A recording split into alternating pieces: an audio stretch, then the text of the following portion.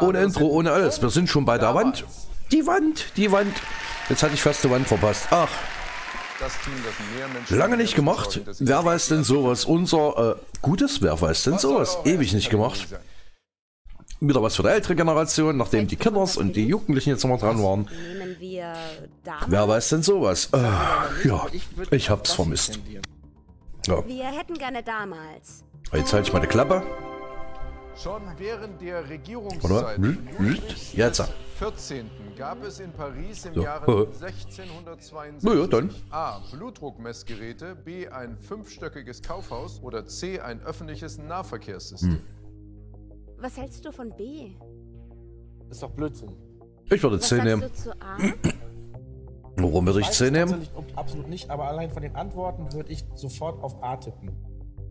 Wir nehmen A. Okay, nehmt da. Ihr habt euch da sehr sympathisch auf A geeinigt. Die Lösung. Ich hätte U und S statt Strau und Stress Bereits genommen. zu Zeiten Ludwig des 14. war Paris mit Doch, Ludwig. 530.000 Einwohnern eine Großstadt Mhm. und verfügte über mehr als 500 Straßen. Da einige Unternehmer, darunter der berühmte französische Philosoph und Mathematiker Blaise Pascal, hier Ach, Potenzial sahen, entwickelten sie im Jahre 1662 das erste öffentliche Nahverkehrssystem. Doch nicht. In der Karosse à 5 Soll, Okay. zu Deutsch dem Wagen für 5 Soll, also insgesamt 25 Cent, konnte jeder Bürger in insgesamt fünf Linien in einem Pferdeomnibus von Stadtteil zu Stadtteil fahren. Na, wer hätte es gedacht? Wow, ich hätte es Leider gedacht. Gut, es bei 0 Euro. hätten wir schon mal die erste Frage richtig gehabt. Welche Kategorie soll es denn zur Eröffnung sein? Äh, bop, bop, bop, bop. Österreich bestimmt nicht. Österreich. Ach, warum eigentlich? Nee, Straßenverkehr, los, komm. Straßenverkehr? Ja, da sind wir uns auch einig. Na dann, beginne. Wie können Forschern aus Würzburg zufolge künftig Alkoholkontrollen im Straßenverkehr durchgeführt werden? Ein Laser am Straßenrand misst Alkohol in der Fahrerkabine. Mobile Wärmebildkameras zeigen Temperatur des Fahrers an. Oder C. Drohnen melden verdächtige Fahrbewegungen über Polizeifunk. Boah. Alter, Lachs, keine Ahnung. Ach ja, wie könnte man das durchführen? Hm? Keine Ahnung, ich habe keinen Plan. Ich nehme mal jetzt ein B, weil Aber Alkohol. ich, also es ist aber so, wenn man Alkohol trinkt, dann gehen die Gefäße auseinander. Genau. Das hat man ja auch das subjektive Gefühl, es wird einem wärmer, aber eigentlich erfriert man viel schneller, weil die Wärme schneller vom Körper abgeleitet wird, weil sie sich außen befindet. Und das könnte man feststellen. Danach muss man die Leute natürlich noch anhalten und einmal pusten lassen. Wir nehmen B. okay, Ihr entscheidet euch für B. Und hätte ich nicht besser erklären können. Die Lösung. Künftig lassen sich per Blitzer nicht nur Temposünde erfassen, sondern auch alkoholisierte Fahrer. Am Straßenrand wird ein spezieller Laser aufgestellt, der vorbeifahrende Autos durchleuchtet. Sein Licht wird von einem Spiegel zurückgeworfen, der auf der anderen Straßenseite steht. Dabei erfasst der Laser, ob sich Alkoholmoleküle im Innenraum des Fahrzeugs befinden. Das neuartige Messsystem schlägt Alarm, sobald im Auto eine Person sitzt, die mindestens 0,1 Promille Alkohol Blut Alter, hat. was es nicht alles mittlerweile gibt. Also, leider Wird kein immer Geld, besser es da draußen. Irgendwann wissen sie alles über dich. Wie machen wir bei euch weiter? Es ist jetzt nicht so, dass ich das jetzt sage, dass jemand hier mit Alkohol fahren soll. Das ist logisch, aber äh, Wahnsinn. eh was es nicht dann alles geben soll. Äh, das Fragezeichen bitte. Der Teebeutel A wurde ursprünglich aus Teeblättern hergestellt, war eigentlich nur als Transportbehälter für Teeproben gedacht oder C gilt als erstes internationales Patent in der Geschichte Sri Lankas. Hm, C vielleicht? Also C stimmt schon mal auf gar keinen Fall. B. Fällt dir zu B was ein? Ja, B. Ja, nein. Ja, nein. Muss es A sein? Vielleicht. Schließen wir aus. Eine sehr schöne Frage fürs Publikumsjoker, stimmt ja, den gibt's ja auch noch. Wer glaubt es zu wissen? Stehen Sie ruhig auf. So, wen wollt ihr denn? Du glaubst die richtige Antwort zu wissen? Ja, ich bin mir ziemlich sicher. Ich würde Antwort B sagen. müsste richtig sein. Das passt für mich am besten. Okay, wir loggen B ein, meine Damen und Herren. Wir werden es sofort überprüfen. Wieso habe ich eigentlich bei den Gegnern immer die Fragen richtig und bei mir falsch? ein New Yorker Teehändler kleine handliche Seidenbeutel mit Tee, um sie als Proben für seine Kunden zu verschicken. Die Kunden gossen allerdings den Tee mitsamt des Seidenbeutels auf, in der Annahme, dass dies so gedacht sei. und der Vorläufer des Teebeutels war. Warum habe ich immer vom Gegner die Antwort richtig und meine eigene versemmel ich?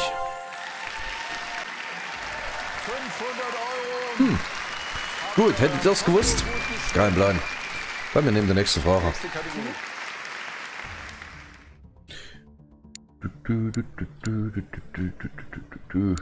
Was bin ich? Oder andere Länder, andere Sitten? Ach, los, komm. Eher nicht. Ja, nicht? Nö. Dann andere Länder, andere Sitten. Ich bin dabei. Na los. Na los. Davon machen die Franzosen schon seit längerem Gebrauch. A. Dem Gurkenaufzug. B. Dem Butterföhn. Oder C. Dem Croissant-Entlüfter. Was schon denken? Kein Plan. Das ist was fürs Publikum, Na oder? Wir los. fragen das Publikum. So. Wer weiß das? Wer weiß stehen das? Sie ruhig auf. Wenn Sie wenn Sie es wissen, stehen Sie auf. Also können auch mehrere sein. Zeigen Sie es. Oh, ja, der Typ ganz rechts. So, wen nehmen wir? Den. Und äh, Sie glauben, das beantworten zu können. Ja, Nein. ich glaube schon. Ich würde sagen, es ist Antwort A. Darüber habe ich irgendwie schon einmal was gehört. A ist Oh, eingeloggt. ei, ei, ei, ei, ei. Ui, ui, ui. Ob das auch wirklich, wirklich, wirklich stimmt. Na los, wirklich, wirklich stimmt. Werden die Gewürzgurken im Glas weniger, fischt der Deutsche auf der Suche nach der letzten Gurke gerne mit den Fingern im Sud. In Frankreich sind die meisten Cornichon-Gläser dagegen mit einem praktischen Helfer ausgestattet. Ach, Ein Sieb unter den Gurken kann einfach hochgezogen werden und schon sind sie griffbereit. Diesen französischen Égouttoir, sprich Abtropfkorb, kennen deutsche Händler auch als Gurkenaufzug. okay. Hab ich weder gesehen bis jetzt noch gehört. Und beim Franzosen gibt's sowas, die sind gar nicht so weit weg. 500 Euro auf euer Konto. Okay. Gut. Wenn ich euch bitten darf, die nächste Kategorie. Na dann, bitte, bitte. Bitte, bitte. Sollen wir einfach Wahrzeichen nehmen? Na Nehme los. ich sehr gern. Wahrzeichen. bitte. Wahrzeichen. Warum hat die amerikanische Freiheitsstatue in New York sieben Zacken an der Krone? A. Beim Bau bestanden die USA noch aus sieben Staaten. B. Sie stehen für die sieben Stadtbezirke New Yorks. Oder C. Sie symbolisieren die sieben Weltmeere. Das Ding haben sie vom Franzosen geschenkt gekriegt, gell? Ich würde B nicht ausschließen. Ich würde C nehmen. Ich weiß nicht warum, aber. Stehst du zu A? A halte ich für ein bisschen strange. Ich würde es riskieren und B nehmen. Okay. Wir haben B Wie gesagt, das Ding haben die, glaube Franzosen- von den Franzosen bekommen? dran vorbei. Wir lösen es auf. Hm, schauen wir mal. Die Freiheitsstatue von New York. Von dem französischen Bildhauer Frédéric Auguste Bartholdi geschaffen, Wüst. wurde sie von den Franzosen als Geschenk Genau. an die Amerikaner übergeben und anschließend 1886 eingeweiht. Soweit richtig. Die Lady Liberty trägt eine Krone mit sieben Zacken, die die sieben Weltmeere und Kontinente symbolisieren sollen. Hätte ich wieder richtig Zusammen gehabt. mit der Fackel sollen sie die Botschaft verkünden, dass die Freiheit die Welt erleuchtet. Wie gesagt, aber beim Gegner weiß ich alles. Bei meinen eigenen Fragen versemmel ich's. Ich hätte noch nicht eine Frage bei mir gewusst. Nächste Kategorie. Naja, gut. Okay, geschenkt. Kommt, dann nehmen wir gleich Österreich. Wäre im Moment mein Favorit. Dann. Woraus besteht eine Wiener Garnitur? A. Aus Frack, Zylinder und weißer Schal. B. Aus Sardelle, Kaper und Zitrone. Oder C. Aus Bettlaken, Kopfkissen und Bettdecke.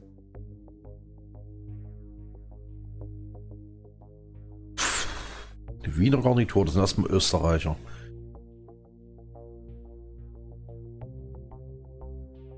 Ich würde sagen. Ich weiß es nicht. B. B. Erster Kalten. Das halte ich. Loggen B ein. So, wir haben B eingeloggt. Wir Garnitur, ist da überprüfen irgendwas es. Wir lösen Die Wiener Garnitur ist ein Begriff aus der Gastronomie und geht einher mit einem anderen bekannten Wiener, nämlich dem Wiener Schnitzel, klassisch zubereitet, natürlich mit Kalbfleisch. Diese traditionelle Beilage besteht aus einer Sardelle und Kapern, geschmackvoll angerichtet mit einer Scheibe Zitrone. So wurde schon zu Zeiten der Aha. kaiserlich und königlichen Monarchie der Hof verköstigt. Schön. 1000 Euro. Mal was gewusst. Doch ich hab von Malz verloren. Unser Körper. Dann sind wir ja bald wieder durch. Die Hälfte haben wir geschafft. Unser Körper war nicht so verkehrt. Wir nehmen unser Körper. Na dann. Warum sehen wir im normalen Gesichtsfeld die eigene Nase nicht? Das Gehirn blendet sie aus oder die Pupillen schielen an ihr vorbei oder C, sie ist zu nah, um damit zu unscharf. Pupillen blenden es aus. Nee, ach, die Ich Pupillen. persönlich wäre ein bisschen für A, hab keine Ahnung warum. Wäre B eine Möglichkeit? Also B halte ich für komplett ausgeschlossen. Ja, stimmt. Wieso sieht man die eigentlich nicht? A, oder? Antwort A. Wir haben es eingeloggt. Wir schauen jetzt gemeinsam Hm. auf die Lösung. Jetzt bin ich mal gespannt. Die Blickfelder beider Augen überlappen sich und ermöglichen räumliches Sehen. Die Nase liegt im Blickfeld, wird aber nicht wahrgenommen. Warum, zeigt ein kurzes Experiment. Na jetzt. Fixieren wir aus einer festen Position für mindestens eine Minute einen markanten Punkt, zum Beispiel eine Reißzwecke, scheinen umliegende Dinge allmählich zu verschwinden. Genauso verhält es sich mit der Nase. Da sie immer am gleichen Ort ist, kann das Gehirn mit dieser Information nichts anfangen und blendet sie aus. Echt? Cool. Na gut. Was man hier alles lernt, oder? 1000 Euro. Du hast einen Euro. 100 sind gerade dazugekommen. Was nehmen wir jetzt? Wortwörtlich, was bin ich? Filmstars total genial im Labor. Klingt am vernünftigsten. Dann? Um die genaue Garstufe eines Steaks herauszufinden, braucht es beim Braten A. eine Flasche Bier, B. die eigenen Finger oder C. ein Blatt Papier. Ah, sind die genaue Garstufe eines Steaks raus beim Braten. Ein Blatt Papier. Und warum? Weiß ich nicht. C ist es nicht. Also meine Antwort ist C. Ja, also wir loggen C Dann ein. los. Dann äh, schauen wir uns das an. Wir haben die Lösung für Sie parat, meine Dann, Damen äh, und Herren. Ein Steak lässt sich mit der Druckprobe auf den Punkt garen. Die Druckprobe geht davon aus, dass Ah. der Daumenballen ähnlich elastisch ist wie das zu testende Fleisch. Dabei berührt die Daumenspitze die Spitzen des Mittelfingers, des Ringfingers oder des kleinen Fingers derselben Hand, ohne zu pressen. Mit Ja. einem Finger der anderen Hand drücken Ich mach das jetzt übrigens gerade. und vergleichen es mit dem Steak. So ein Es Quatsch. gelten folgende Regeln. Daumen und Mittelfinger blutig.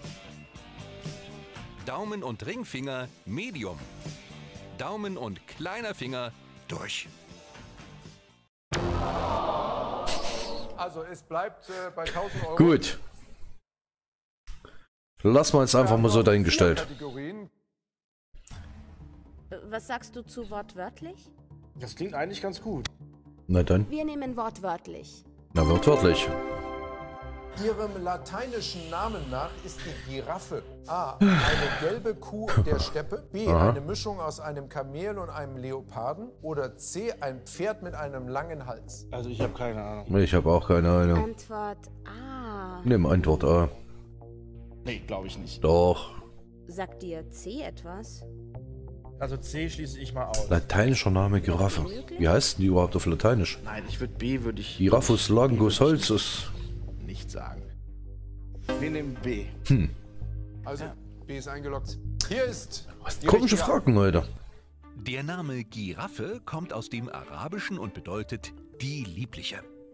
Seinen wissenschaftlichen Namen verdankt der Pflanzenfresser den Römern. Im Lateinischen heißt sie Giraffa camelopardalis, Kamelleopard. Mit dem langen Hals und dem Wahnsinn. Fell sahen die Römer in ihr eine Art Mischung aus einem Kamel und einem Leoparden. Was die Römer alles so gesehen haben? Also 500 Euro haben wir draufgepackt, 1500. Na gut, Giraffus longus. Alles gut. Ah, was haben wir denn jetzt noch übrig? Viel ist es ja nicht mehr, ne? Lass, da, da. Was bin ich? Filmstars im Labor. Im Labor, lass. Ja, da sind wir uns auch einig. Bitte. Wenn eine Dose Diät-Cola mit einer Dose normaler Cola in einen Behälter Wasser gelegt wird. A. Schwimmt die Diät-Cola und die normale Cola geht unter? B. Schwebt die normale Cola in der Mitte und die Diät-Cola darunter? Oder C. Fangen die Dosen an, sich umeinander zu drehen? Was sind die? eine Dose Cola und eine Diät-Cola. Das weiß doch das Wasser nicht, was für Cola da drin ist. Hä? Mit ohne und mit und ohne Zucker, wa? Zucker ist irgendwas und Zucker geht ja unter, also Zucker schwerer. Also, äh, schwimmt die Diät-Cola und die normale Cola geht unter. Das ist ja generell albern. Das ist generell albern. Ah, Was da Schauen wir mal, ob das richtig ist. Schauen wir mal. Schwimmt die Diät-Cola. In Los. der blauen Dose haben wir Cola Light mit Süßstoff und in der roten Dose normale Cola mit Zucker. Wir geben nun beide Dosen ins Wasser und siehe da, die normale Cola geht unter und die Cola Light schwimmt oben. Da habe ich einen Zucker. Grund ist der Zucker, der die Dichte und somit das Gewicht Haha. erhöht. Ein Liter normale Cola wiegt ein Kilo und 40 Gramm, schwerer als Wasser, weshalb die Dose versinkt. Ein Liter Cola Light wiegt durch die verwendeten Süßstoffe hingegen nur 890 Gramm, ist somit leichter als Wasser und die Dose da, da, da, da. Wisst ihr Bescheid? Trinkt viel Cola Light und ihr könnt schwimmen gehen, weil ihr geht nämlich nicht mehr unter. Haha. nee, Quatsch. Gut. Haben wir ja mal was so logisch erklärt. Eine Frage noch für beide Teams. Was hältst du von Was bin ich? Oh nö. Och nö. Filmstars nehmen wir. Clint Eastwood arbeitete vor seiner Hollywood-Karriere in den 1950er Jahren als A. Bademeister, B. Kaufhausdetektiv oder C. Reitlehrer. Keine Ahnung. Reitlehrer. Möglich? Ich bin mir irgendwie sicher, dass es B ist. Was sagst du zu A? Das glaube ich nicht. Gut, dann nehmen wir B. Dann Kaufhausdetektiv. So, hier kommt die. Ich hätte Reitlehrer genommen. Der 1930 geborene mehrfache Oscar-Preisträger Clint Eastwood konnte Mhm, seinen gute Filme, nicht ab und zu. mit der Schauspielerei finanzieren. In den 1960ern konnte er zwar im Fernsehen Fuß fassen, sein endgültiger Durchbruch in Hollywood gelang aber erst 1971 als Dirty Harry. Was hat er bis dahin sich gemacht? als Rettungsschwimmer Aha. und Bademeister finanziell über Wasser, also nicht vom Beckenrand springen, Gringo. Oh, cool. Gut. So, es bleibt bei 1500 Euro. Wie viel haben wir? Auch 1500, ne? So, letzte Kategorie für euch. Na Eine biet an. Frage habt ihr noch zu beantworten? Was bin ich? Eine Bügelfahrt ist A. Ein Seniorenausflug mit Verkaufsveranstaltung. B. Nö. Eine Testfahrt einer Straßenbahn. Ja. Oder C. Eine Achterbahnfahrt ohne Passagiere. Ja. nee, eine Bügelfahrt ist eine Achterbahnfahrt ohne Passagiere, um zu schauen, ob die Bügel gehen. Haha. halte ich für den C. Na los. Ihr nehmt C. Kann das wirklich sein? Nein. Namensgebend für den Straßenbahn. Begriff Bügelfahrt sind die Stromabnehmer auf Straßenbahnen, die als Mein erster Gedanke war das. Bei einer Testfahrt einer neuen Straßenbahn wird primär überprüft, ob die Stromabnehmer auch genug Hm? Strom bekommen. Deshalb wird die Testfahrt einer Straßenbahn auch Bügelfahrt genannt. Ich hab's geahnt am Anfang. Ich hab gleich gesagt Straßenbahn. Also es bleibt Ach Mensch. 1500 Euro. Es ist aber zum Glück nur ein Spiel. So. Unentschieden würde ich mal sagen. Unentschieden, unentschieden. 1500 Euro. Das Team Elton 1500 Euro. Jawohl. Gleich stelle ich Ihnen die Masterfrage. Eine Frage an beide Teams mit drei Antwortmöglichkeiten und 20 Sekunden Zeit, die richtige Antwort einzuloggen. Genau. Music. Masterfrage Ich verrate nicht, was wir jetzt Musik. nehmen. Also was Jetzt wir hier nehmen, schon, aber nicht den Betrag, den wir jetzt eingeben. Den setze ich jetzt einfach mal so. Ihr habt eure Einsätze getätigt. Hier ist die Masterfrage.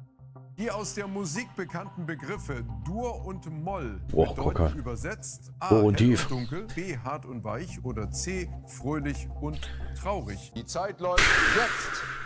Bam, bam, bam. Dur und Moll.